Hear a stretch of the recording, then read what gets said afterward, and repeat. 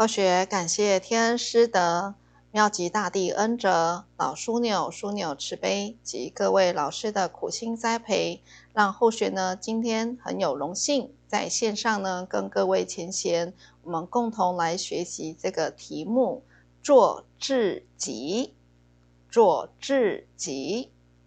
我们在上一次呢有提到，什么是做自己呢？做自己。就是要做一个有智慧的自己。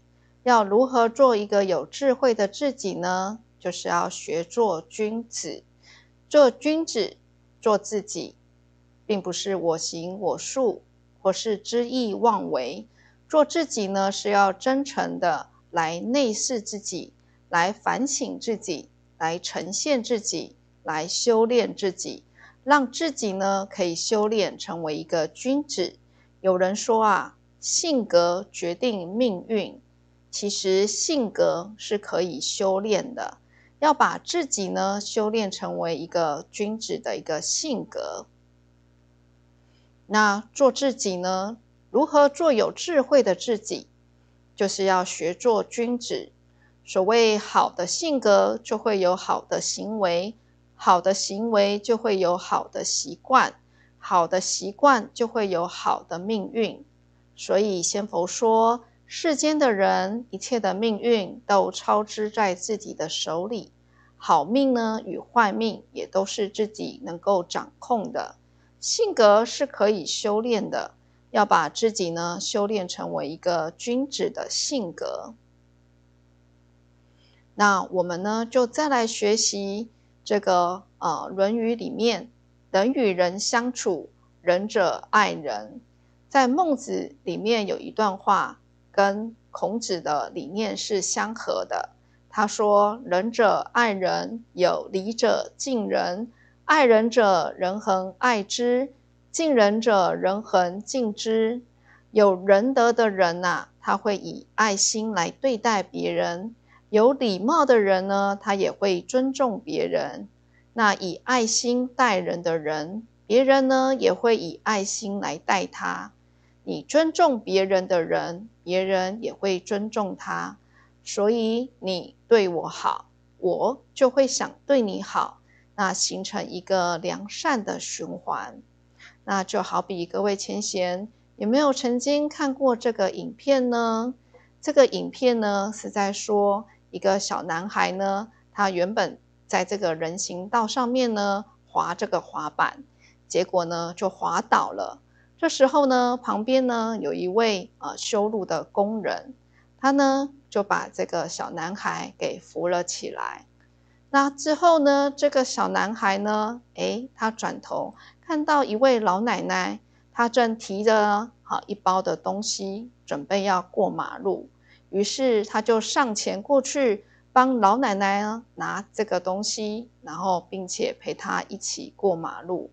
那这个老奶奶啊，她非常的感恩他。就是老奶奶呢转头一看，哎，看到这一位妙龄女子，她呢正在找这个零钱，那准备要投币来付这个停车费。那看起来呢翻了很久都没有翻到，于是呢这老奶奶呢就拿着零钱。给这位妙龄女子，然后妙龄女子呢也非常的感恩。这个妙龄女子呢，她转头呢要往这个呃人行道走的时候，诶，看到一个先生，他呢正从这个呃商家里面走出来，结果他的东西从口袋里面掉了出来。这个妙龄女子赶紧赶紧上前呢，帮他捡起来，并且还给他。那这位先生呢，也非常的感恩。随后呢，这位先生看到路边呢有人在搬运一个大型的东西，大型的行李，于是他就上前过去帮这一位先生呢搬运工人呢啊一起来搬运这个行李。那这位先生呐，非常的感恩他。随后呢，他转头哎看到了有一位流浪汉。看起来他好像好几天没吃东西了，于是呢，他呢就到这个呃路边呢去买一些食物。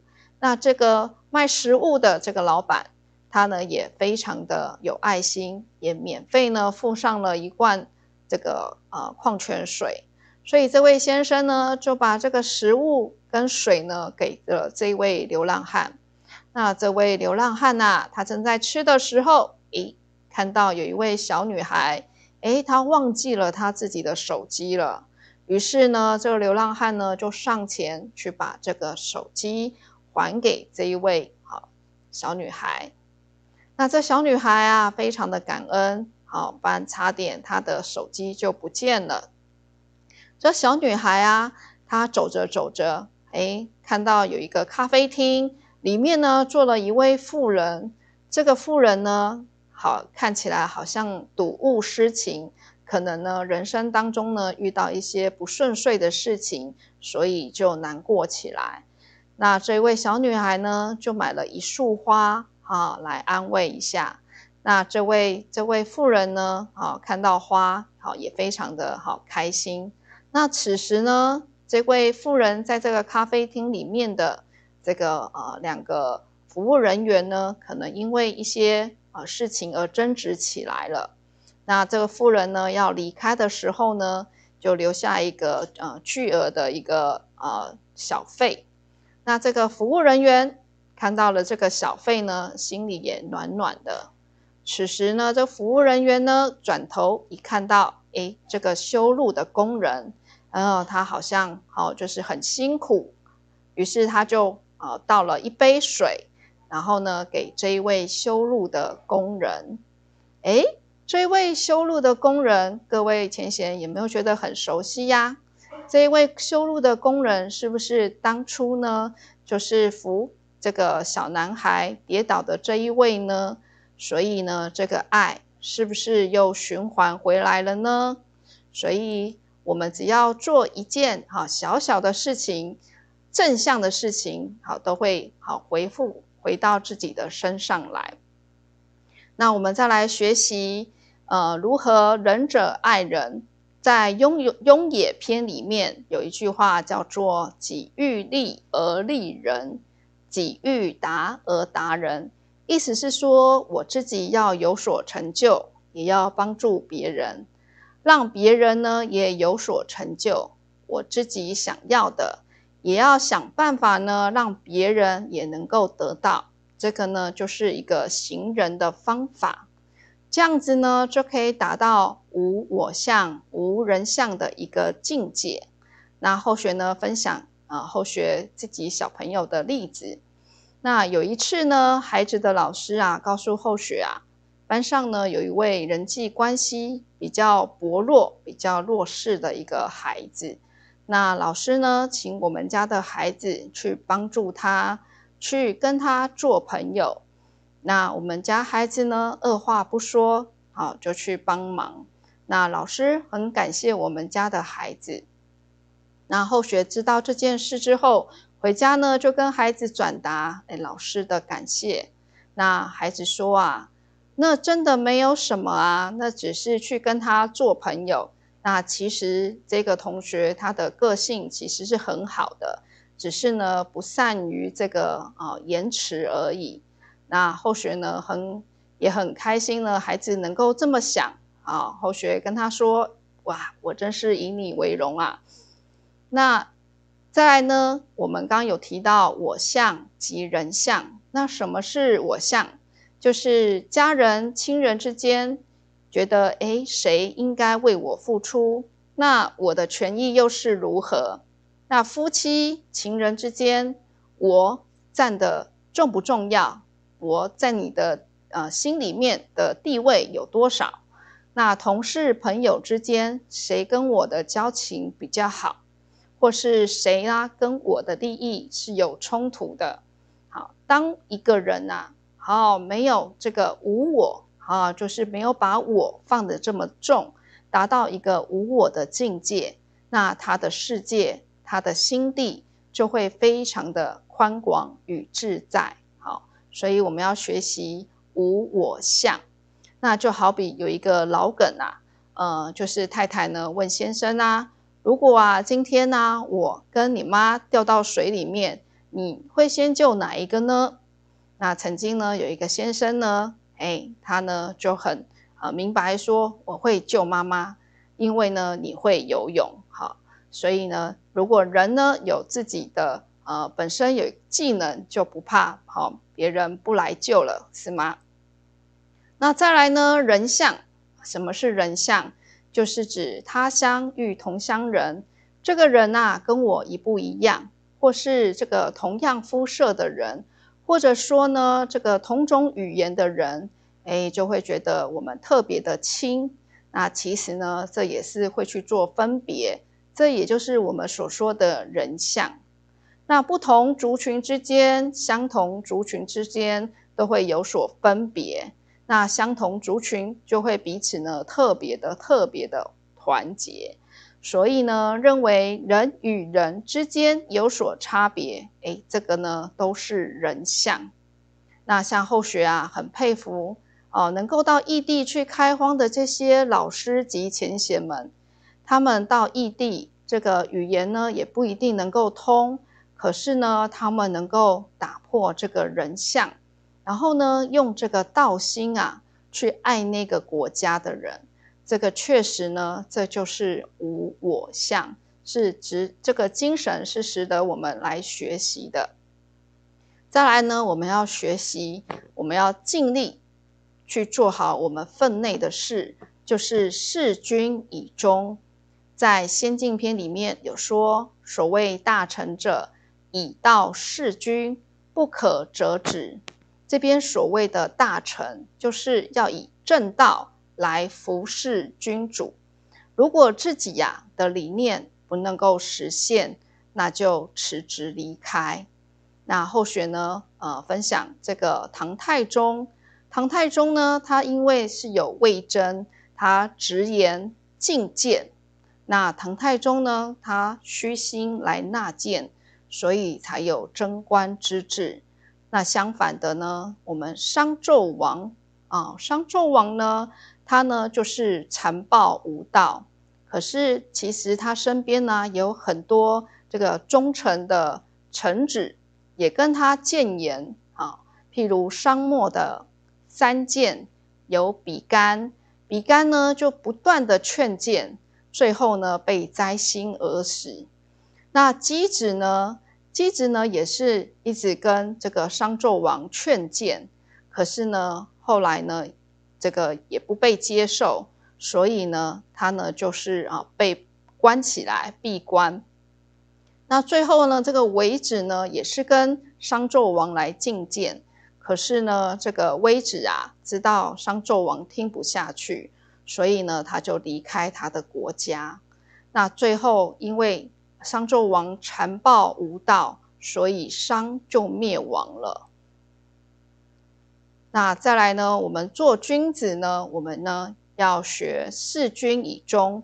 在泰伯篇里面有说：“不在其位，不谋其政。”那意思是说，我们不在这个位置上，就不要对这个位置的事情来指指点点，避免去妨碍他人的工作。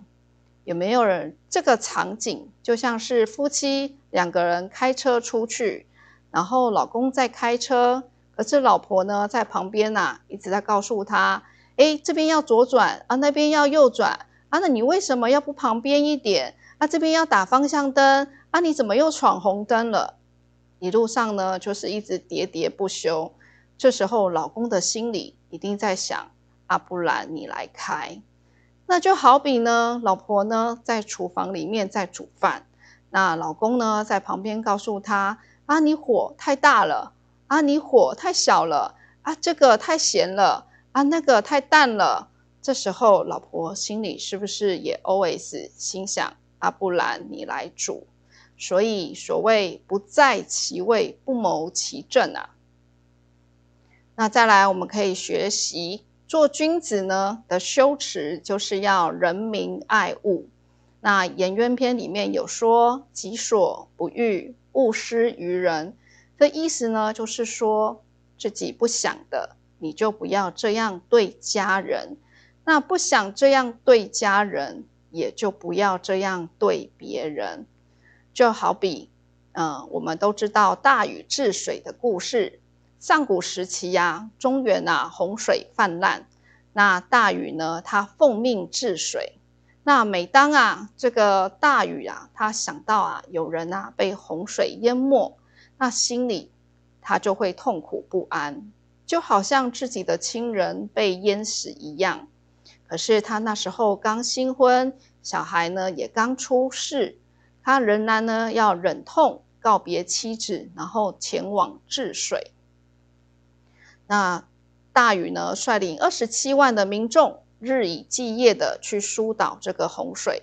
经过了十三年的奋战，他成功呢疏通了九条大河，清除了水患，那完成了这个流芳千古的伟大事业。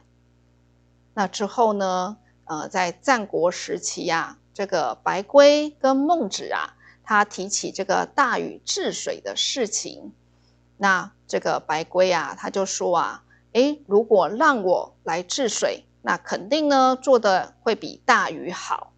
其实啊，我只要修筑这个河堤，然后便把这个洪水呀引导到邻国去，这样做不就省事的多吗？那这时候孟子啊，他就说你错啦，这个大禹啊，他把洪水排到大海去。你却排到邻国去，你这种损人利己的行为只会被仁者所厌恶啊！所以，我们只要国家呃把水排出去就好了吗？那是不是变得邻国也淹起大水呢？这就是己所不欲，勿施于人。就好比后学曾经有一次，在一个老人照护中心的电梯里面啊，看到一个公告。它上面啊就写说，呃，请不要把即将烂掉的水果好送来老人的照护中心。后学当下看了，就在想，诶，为什么这个人要把即将烂掉的水果拿到老人照护中心？他是认为说要习物吗？呃，这样丢掉很可惜吗？可是后学想，这是老人照护中心，你把他送过来，这些老人家呃，可能也不适合吃这些即将烂掉的水果，而且你自己不不吃的东西也拿来这里，也实在是不应该。所以己所不欲，勿施于人。那我们再来学习这个君子的修辞。那孟子里面呢有说。君子之于禽兽，见其生不忍见其死，闻其声不忍食不忍食其肉，是以君子远庖厨也。意思是说啊，君子是对生命是有怜悯心的，他看见活着的飞禽走兽，就不忍心见到它死去；听到它的哀鸣，就不忍心去吃它的肉。也因为如此，所以君子啊。总是和宰杀禽畜的厨房保持距离，不太愿意靠近，因因为一旦太靠近了，就会习惯于宰杀及哀鸣，这样呢就会减弱自己的怜悯心、仁爱心。所以君子远庖厨，就是告诉君子不要去接近血腥或有暴力，这样呢会麻木。麻木我们的怜悯心，那使我们呢麻木不仁。所以君子远庖厨这个意思呢，就是告诉我们不要去呃，就是听到好，不要去习惯于这些宰杀及哀鸣。好，这个呢也是要当君子。那另外一层的意思呢，就是要告诉我们要亲口，要食素，来保持我们这个呃怜悯心。那宣后学再分享一个齐宣王的故事。齐宣王有一次呢，宫里呢就牵了一头牛，从这个大王的面前经过。那大王就问说：“哎，你牵牛要去哪里呀？”那这位就回答说：“这头牛啊，要杀来祭祀。”结果这个齐宣王啊，就看那一头牛很可怜啊，就吩咐啊，把那一头牛放了。可见呢，这个齐宣王呢，他也是有怜悯心、有仁爱心的一位，不忍见其生，不忍，呃，不忍见其死。好，那我们再来呢，再来学习“君子爱财，取之有道”。那《里仁篇》里面有说啊，“富与贵，是人之所欲也，不以其道得之，不处也。”意思是说啊，富有与尊贵是每一个人所希望的得到的，但是如果呢，我们用不正当、不合正道的手段，用不正当的方式才能够得到，那我们孔夫子宁可不要。那相对的呢，贫困与低贱是每一个人所厌恶的，但是如果用不正当的方式才能够避免，那我们宁可要来面对，因为人生啊，有比这个富贵贫贱更重要的事，那就是人生要合于正道。就好比我们现在呢，呃，各国呢都诈骗诈骗集团猖獗，尤其我们现在春节呢即将来临，在春节的前夕呢，其实诈骗集团啊，它也在抢赚年终哦。所以内政部说要请民众要小心留意，因为年关将近，有许多人啊都趁着领年终奖金而大肆采买。那这个诈骗集团呢，它瞄准这个年节的商机呀，这个诈骗集团也积极的抢赚年终，所以内政部提醒民众，网络购物应该要利用购物平台的第三方支付，千万呢不要为了捡便宜而同意卖家私下交易，这样子呢赔了奖金又伤心啊。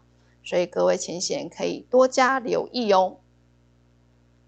再呢，我们呢要向内来修炼，来面对一切遭遇跟压力。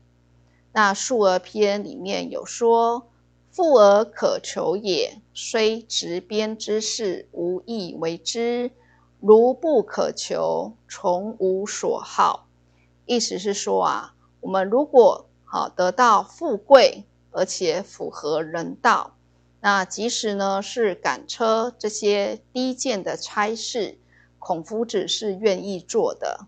虽然呢治世甘露是孔子所向往的，因为这个是符合孔子的理想抱负，而且呢他也是十分的感兴趣，而且呢还可以享受这个荣华富贵。但是如果孔子认为这个君主啊不按他的礼，有违这个人道，有违这个君君臣臣，那他也不愿意在这样的君主手下来为官。那让后学呢，嗯，就是想到后学曾经呢有一份薪资呢，有达到后学所期待，而且呢又可以帮助弱势的工作。但是呢，由于担任这个会计主任的一个职位，对于这个董事会啊，他的一些理念呐，不是很认同。再加上呢，这个除了主要的工作之外，分外的工作量呢，啊，逐年的增加，已经呢影响到后学回佛堂学习的一个时间，所以后学呢毅然决然的放弃那一份的工作。那现在呢？虽然这一份的工作薪资不是很高，但是后学有时间以及精力在佛堂学习，重点是心境呢也比以前平静很多，也找到自己那一颗灵敏的本性，所以呢后学很感恩这些上天的安排。那以上呢，呃，后学呢做一个结语哦，我们如何做自己呢？就是要学做君子。我们用儒家的一个基本的功夫，那有益于呢我们立身处世。那我们呢有真诚来做自己，来做君子。那我们从这个儒家的思想呢去领悟天命。那我们用真诚的来做自己，来做君子，才能呢成为别人所信赖、所信服，然后成为他人的一个表率。